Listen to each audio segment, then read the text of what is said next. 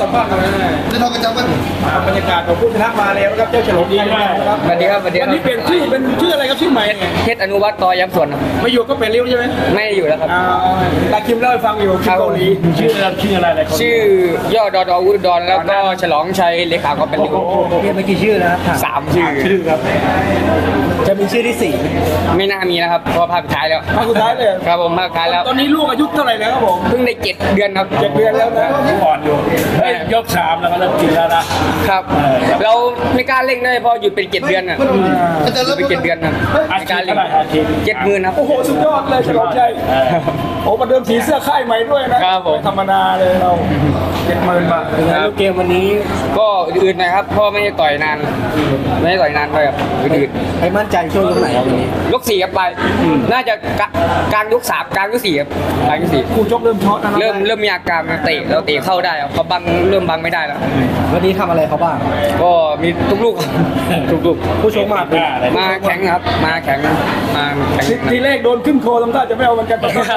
ลาดไปท่านอะไรยกแรกครับตั้งหลักไม่ได้ตั้งหลักไม่ได้นะเออแล้วยกสุดท้าออกมาเนี่ยเขาไปในทีเดียวเขายอมใช่ครับหลักตีครับตีออกแข้งไว้อาวุธของผู้ต่อสู้วันไหนที่น่ากลัวเลยวันนี้ ก็มีแข้งเนี่ยนะครับ แข้งแบบนี้โชคดี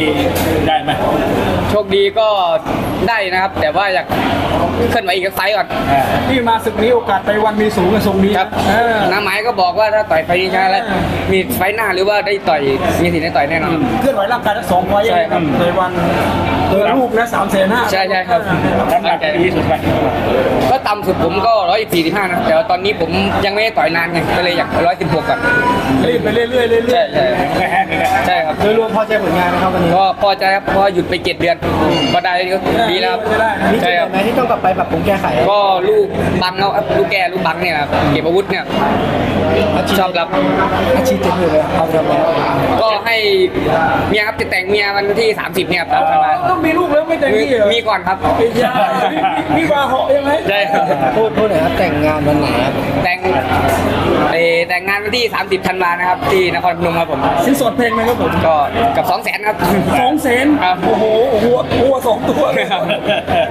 โอเคครับน้องโชคดีนะครับวันนี้ทำสำเร็จแล้วอยากขอบคุณใครบ้างครับ ก็ขอบคุณลูกพี่ครับทางค่ายขอบคุณน้องๆเพื่อนๆพี่ๆน้องๆครับในค่ายต่อย้ำตรวจครับที่ให้กำลังใจช่วยมาตลอดครับขอบคุณมากครับ อ่าโอเค